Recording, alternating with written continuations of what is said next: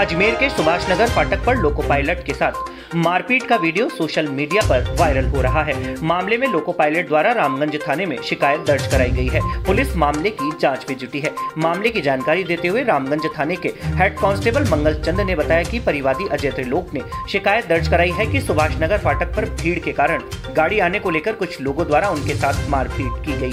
इस संबंध में पुलिस ने मामला दर्ज कर जाँच शुरू कर दी है। वहीं इस मारपीट का वीडियो लगातार सोशल मीडिया पर भी वायरल हो रहा है। एक अपने सुभाष नगर फाटक पे भीड़ की वजह से कहीं वो गाड़ी अड़ गई थी विकास होने से मारपीट हुई।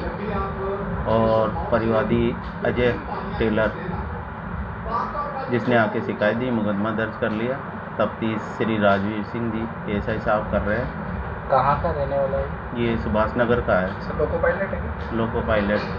कितने लोगों ने मारपीट की सब बताया? एक ही व्यक्ति बता रहा। है नाम नाम से एफ़ आई आर हुई है। हाँ गाड़ी नंबर से। ठीक। सर आपका नाम?